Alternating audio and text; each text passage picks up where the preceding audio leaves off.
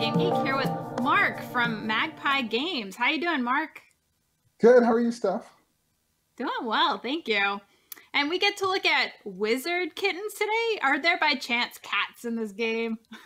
There are there are a few kittens in this game. No no cats, of course, only kittens. Uh, just, well, just kittens. I, actually, okay. there is one cat which we'll talk about, Professor Whisper, um, who's one wants to catch these kittens up to no good. So um, so there are a few, I suppose.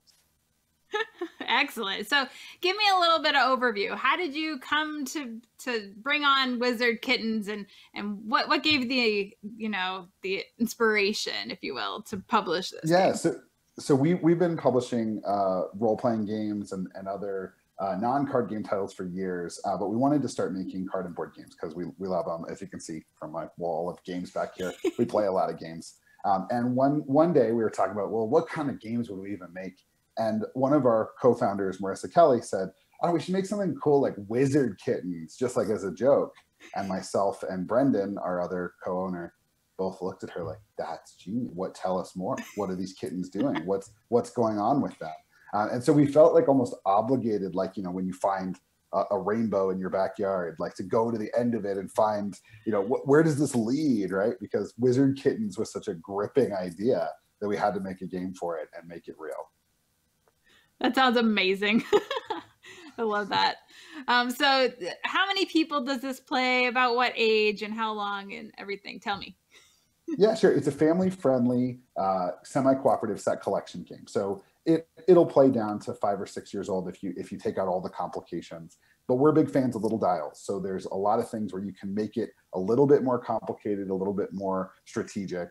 Um, so we're looking at a pretty wide age range of uh, of players. Um, the time for it, once you get it up and running, is probably 15 to 20 minutes. First time through, probably half an hour just to get the rhythm of everything. Um, but it's supposed to be a fast game. It's supposed to be, uh, you know, quick paced, and there's a lot of twists and turns as the kittens try to crush and defeat and banish the curses that they have accidentally let out of the library. So Whoops. they have these spell books that they can put the curses back into, but they've got to collect the right ritual ingredients. So you've got them there, but these ritual ingredients, artifacts, scrolls, uh, you know, familiars, um, these adorable familiar cards, um, all of which will help them put the curses away and escape uh, detention. But if over the course of the game they can't collectively get rid of all the curses, they get caught by Professor Whisper and Professor Whisper is uh, eager to put these kittens in detention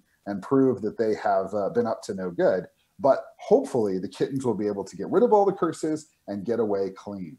Now, of course, if uh, they don't get away, it doesn't mean there's no winner. It's a semi cooperative game. So if they get caught, the cleanest paws clause applies, which means that the kitten who has the least guilty look, the one who is most likely to be able to escape punishment, is the one who wins. So there's a little bit of trying to shoot the moon here as you play the game, deciding can I win by getting all the points if we're going to finish all the curses? Or do I need to win by making sure we don't finish the curses and I'm the least guilty kitty?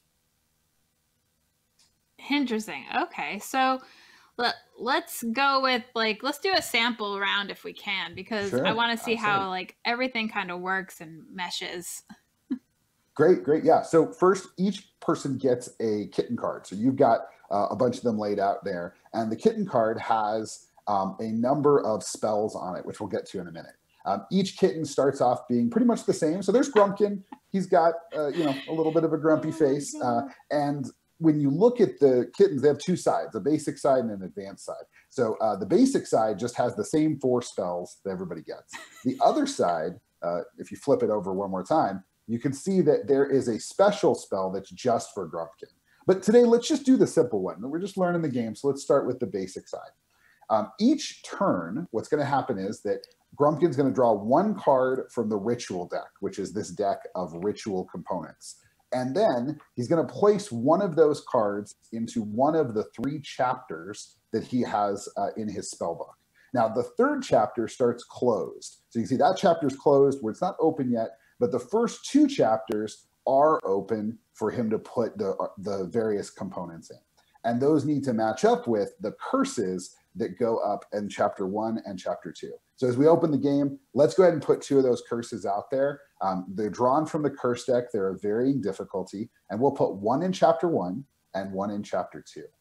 Now, the first curse that we've drawn here is the balloon kitty curse, uh, and the second one is the possession curse. Now, the balloon kit curse is it's a great starting curse. It's a simple curse. It's worth five points. You can see up in the top left corner. It's a five victory point condition card. And in the in the row, there are three symbols. And those symbols tell us what things we need to put in that chapter to break that curse, banish it, and put it away. Okay. So you can see the ah. balloon curse is pretty simple, just three artifacts, or, or sorry, three uh, ritual components. The possession curse is a little more complicated. It needs four potions, which is kind of tough to get all in one place. And it's only worth two points, but that's because it has a special clause at the bottom. You score two additional points for each curse your opponents have defeated, which means that if you're if you're behind, uh, then maybe you can catch up by getting a card that's worth a lot of points if your opponents have curses. Right? So let's put those back in chapter one and chapter two, respectively. And now we're going to see where is Grumpkin? Well, he's got an artifact and a potion. That's actually a pretty good start, right? He needs one familiar and one uh, uh, one additional potion in his first chapter to break that first curse, right? And so we're huh. going to draw from the ritual deck, and we want to put them in the. Uh, they were back in the opposite order. Uh, the artifact was in chapter one, right? And the potions in chapter two. Perfect. Now ah. he needs to get all of the elements in chapter one, but they can be in whatever order. There's no order here. It's just the set that he's trying to collect. Okay. So let's grab our ritual deck, which is, like I said, filled with all those ritual components, and let's just draw one card from it. And that's going to be the card that Grumpkin gets this turn. Um, let's let's set that card aside. That's that's kind of a special card. It's supposed to be shuffled into the middle of the deck. That's fine. We, I want to show it, so that's perfect. Let's grab uh, one more regular artifact or potion or scroll. Set all those other all those other cards aside. Perfect potion. Okay, great. So Grumpkin gets to choose do I want to put that potion in chapter one or chapter two? Now, chapter one doesn't only needs one potion, right? So that's a great place. We might put it in chapter two because it's got four, but that's like a long way away, right? Let's put it in chapter one right. because in addition to playing a card, Grumpkin also gets to cast a spell. So let's take a look at Grumpkin's card one more time and look at those spells. The first spell is the one we're probably going to cast this round. It's called Summon. And when you cast summon, you get to draw another card from the deck. So you summon up one more ritual component and see if it's the one you need, right? For the second spell, it's Sling, which is to throw a card from your pile into another kitty's pile. Well, that makes that kitty look guilty because remember, the kitty with the cleanest paws wins. Well, cleanest paws, if we get caught, means the fewest ritual components. So this takes a ritual component out of my space and puts it into somebody else's. Or it might give someone a card they need to complete those curses, right? Because we're kind of in this together, kind of. So I might want to give another kitty a card to help them. Um, SWAT gets rid of two cards. And again, that's great if I'm going to have extra cards in one of my recipes, which we'll talk about will count against me, or if I want to get rid of cards because I want to have the cleanest paws. And then finally, switch, which would switch any two cards on the board uh, from chapter one to chapter two, from your chapter one to my chapter one, from your chapter two to my chapter two, any two on the board. But there's one catch here. You can never cast the same spell twice in a row. So Grumpkin's got a really cute little uh, spell token with a little paw on it. And every turn, we're going to put that spell token directly onto the card wherever uh, we, we, we whichever, whichever spell we cast. So this time, I don't know, Steph, what do you think? I think I'd like to summon a card and see if I get one of those familiars yeah. that would that maybe would you'll get blue. What do you think? Yeah. Okay. Yeah. Great. So let's just Go. summon one more card. Let's get it from the middle of the deck. Like grab one from the middle of the deck, and we'll see what we get. Yeah. It's a familiar. Perfect. Okay. Great. So magic, magic. So so that's enough for us to complete this spell, and we only check at the end of your turn. So if you if you had one finished at the beginning of the turn, you can maybe finish two. But we're checking now, and it looks like Grumpkin's completed one curse. So here's how it works all the ritual components are, are used up. Take those and put them aside in the discard pile. They're gone. We take the curse card and we put it into Grumpkin's play area, and that's now part of his tableau, and he's got that many victory points, right? So in this case, it's five victory points. it's a great start for Grumpkin. Really, really good first turn to, to draw exactly the cards he needs. Now, how do you win the game? Well, we said if you have the most points, you're going to win, but only if we finish all six curses.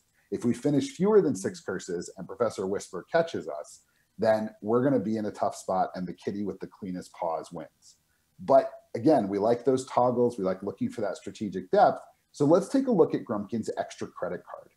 It's a secret victory point condition card. And again, I might leave this out if I'm playing with kids or maybe people who've never played a hobby card game before. You can leave this out for now. But for gamers, this is a really great way to diversify and strengthen the game. This extra credits card says that Grumpkin's going to get three extra points for each pair of artifacts and scrolls left in the ritual circle, which means that he kind of wants to hoard those, right? He wants to find a way to get those and hold on to them till the end of the game. And nobody else knows why he's doing that, right? Maybe it's because he gets one point for every artifact, or maybe it's this card and it's three points for every artifact and scroll combination. So everybody's got their own extra credit card. But Steph, do you think you earn extra credit if we don't complete all the curses? No. No, right? You gotta we, we have to finish to get the extra credit. Otherwise, we're all going to detention. So extra credit only kicks in if we get through all of those curses. So Grumpkins turns over. Let's put out a new curse from the deck and see what the next curse looks like it's going to be. The copycat curse. Perfect. Those kitties are all over the place. Too many of them. Right. This is a good middle of the road curse. Remember, the possession curse is kind of hard. Balloon kitty curse is a little easier. It's worth only four points, but it also gets you one additional point for each potion that's in your ritual circle at the end of the game. So just like Grumpkin wants to collect scrolls and artifacts, whoever gets this card is going to want to also collect potions. But that's public information. Like we're all going to know that you're going after those potions because they're worth those extra points. Okay. Now there is one more part of the cleanest paws clause that's worth noting, which is that kittens who have more than 10 points cannot pretend to be innocent. Like, come on, you've already scored 10 points. There's no way you're not in trouble, right? So Grumpkin's also got to think about, well, do I want to get more cards? That card might be perfect because it puts him at nine points, which means he's in a place where he could win by cleanest paws. He could win by getting another curse card. He could win by getting his extra credit points. He's off to a really strong start, and there's another really good curse on the board. But his first curse used up all those components, right? So he's got to start from scratch, which gives the other kittens time to catch up. Excellent. Um, and so, like, you want to be collecting these different potions and familiars, but you don't. right, yeah. And you want to make sure you have the right ones, right? So let's say that Grumpkin had one more extra card in that first chapter. So if we could take the scroll card from uh, uh, Bebe over there, or sorry, the, the, yeah, that one's perfect. Yeah, great. And put it in chapter one. If he had had that in chapter one at the beginning, then he'd have one extra component. And when he cleared that curse, that one extra component would be a negative one applied to his Uh-oh. curse. He would have one extra extra ingredient, and that makes the curse not as good, like breaking the curse not as good.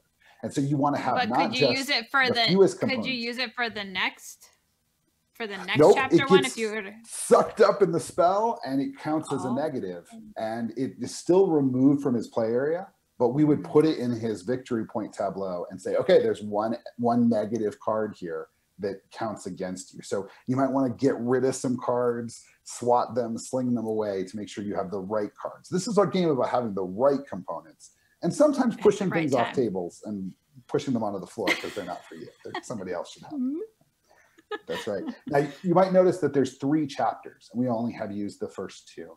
And that's because one of the ways in which the game gets chaotic in front and the middle is the addition of Chaos Cat. So let's grab one of the Chaos oh. Cat cards uh, from that stack over on the right, Nikki. Um, you can see with under Professor Whisper, where you have the the smaller cards by the box. One of those cards yeah. is a Chaos Cat card. There's actually four in the deck.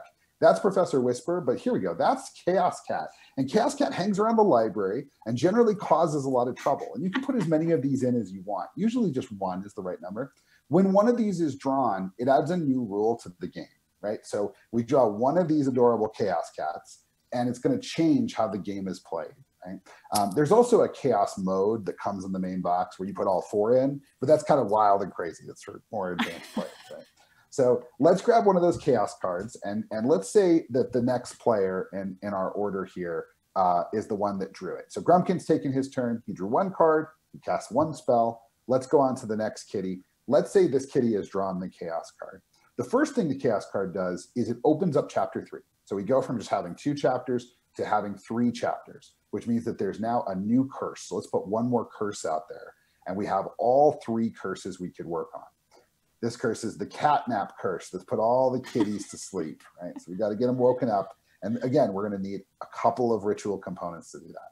That's also going to open up the chapters for all of the other kitties. Now they have a third chapter. And so everybody's chapter three card is going to turn over and we get three cha- three full chapters in which they can put ritual components right now this happens at different times of the game sometimes it happens very late sometimes it happens very early but chaos cat is shuffled in there with all the other cards and now okay. in addition to all of that we're going to put out a new rule so grab one of the new rule cards for chaos cat and see what our new rule is that's going to change the game in this case it says when a curse is defeated the kitten to the left collects one of the used ritual components their choice before they are Ooh. discarded.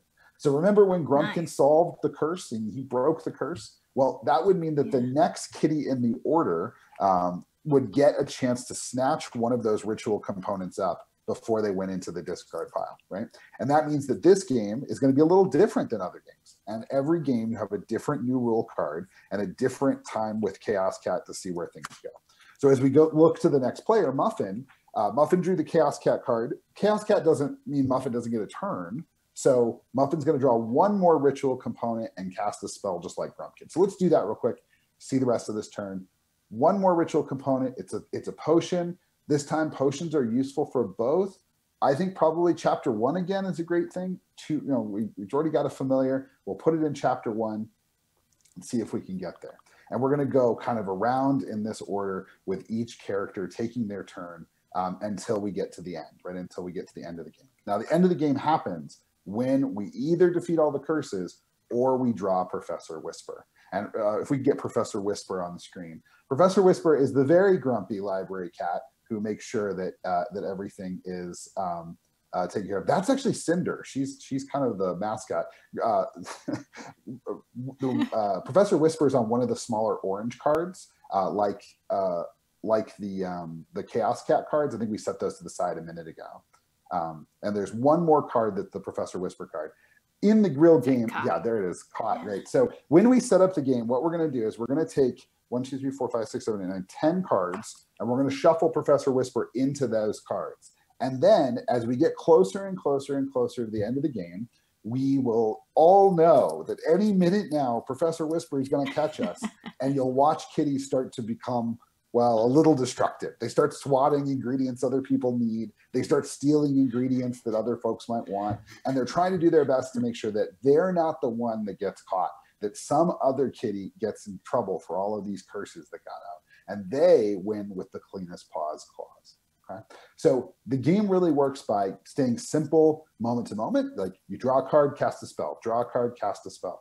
But the additional twists and turns build a really strategic atmosphere where you're really thinking all the time about what's possible. Is it possible for me to get a couple more curses? Is it possible for me to be the kitty with the fewest uh, ritual components? What do I need to do to ensure that I clear this curse, which is going to get ritual components off my board, but then will also mean I get some points, right? And all of that happening at the same time means it's a game that sure kids can play and, and they're going to have a good time with because they're going to put the kitties out and move the spell token and, and have a good time making sets but that adults might find really complex and interesting because it's got a lot of surprising twists and turns as you play. Excellent. And um, you got some love for the art. Um, I love it as well because obviously it's adorable and, and kitties.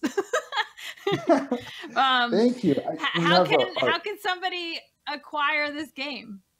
That's great. Yeah. So we are um, we we had a really really really wonderful Kickstarter uh, last year where we had a whole bunch of folks support us and make this game a reality. And in fact, like I can't say enough about our Kickstarter backers. Like they they made it possible for us to get four different Chaos Cats in the game. There's really only one to start. It's such a joy to commission the other kitties.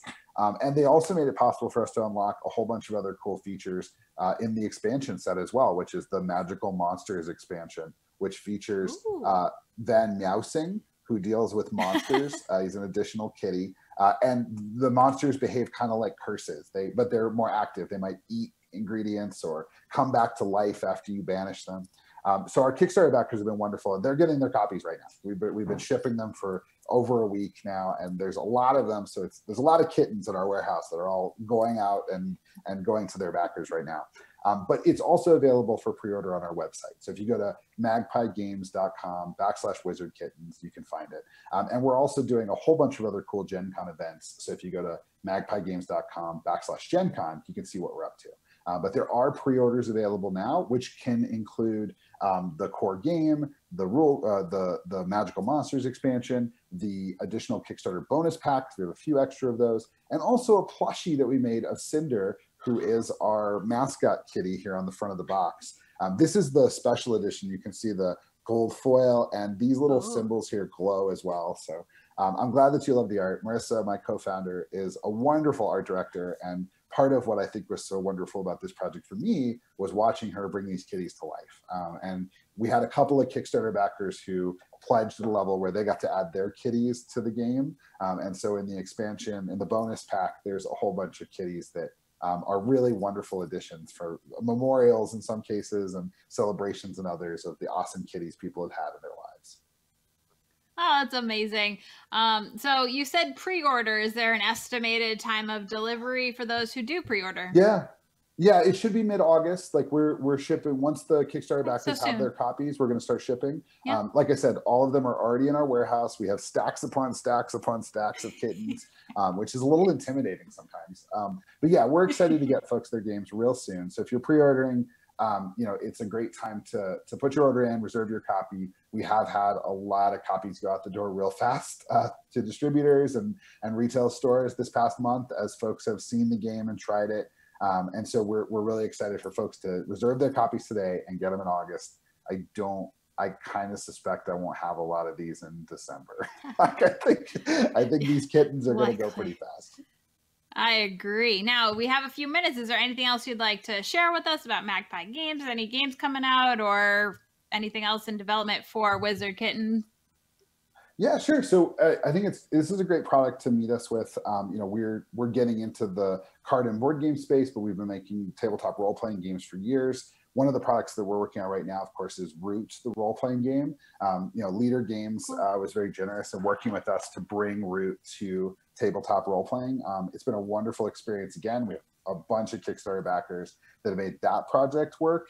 Um, and we're in the middle of making uh, the role playing game awesome. So we're working with Kyle Ferrin, who did the art for Root, to do the art for the, the role playing game. Uh, we just recently released today the uh, free RPG Pellenicky Glade Quick Start that we released last week for Free RPG Day, and it's available on our website right now for free. Like if you like a physical copy is free if you pay for shipping. Um, and so if you go to our website and check out uh, our shop, you can find the Pellenicky Glade Quick Start, which has all the rules for playing Root, six pre-generated, char- pre-generated characters, a new clearing, which if you're familiar with Roots, the clearings are kind of like cities and villages. So it's a new basically adventure uh, where there's a clearing that's kind of beset by politics and you're playing vagabonds who are kind of like outlaws who wander into the clearing and get caught up in the mess. And if you're interested in getting one of those, I would really encourage you to go today and uh, and pick one up because they are free and they're going pretty fast. We have a, a limited number that are available after Free RPG Day, uh, and so we're we're really excited to get them out to people. But when they're gone, they're they're gone. I don't have any more. So if you're interested, please come check it out. Excellent. That sounds like you got a lot going on. Every a lot of people love roots, so that will be, I think, pretty huge. So that's congratulations on that. Um, and Thank Wizard you. Kittens. Thank you so much, Mark, for joining us today with, uh, you know, showing us Wizard Kittens, which is adorable. And, uh, you know, congrats on Magpie Games and the success. Thank you. We've been, uh, next year is our 10 year anniversary, and, and it does feel kind of strange to look back and, and think about, you know, like I went to my first Gen Con actually 10 years ago.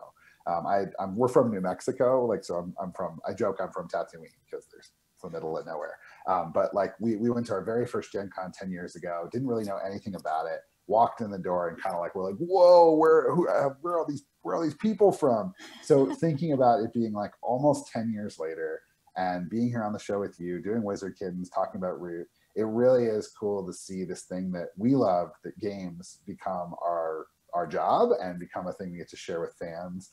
And Wizard Kittens is especially exciting because there's nothing like watching people uh, get to choose which kitten they get to play and be so excited to be a kitten for the 20 minutes it takes to play the game and then immediately say like but what if i played it one more time like what maybe next time i could win like i'm gonna let's go one more time and see that kind of fun that we had at, when we first played the hobby games and, and checked out card games with with other folks so thanks Absolutely. for having us on the show and and it's a weird yeah. gen con but we're really excited that it's still happening and and you guys are a yeah, big part absolutely. of that so thanks a ton Thank you, Mark. Enjoy Gen Con. Thanks. You too.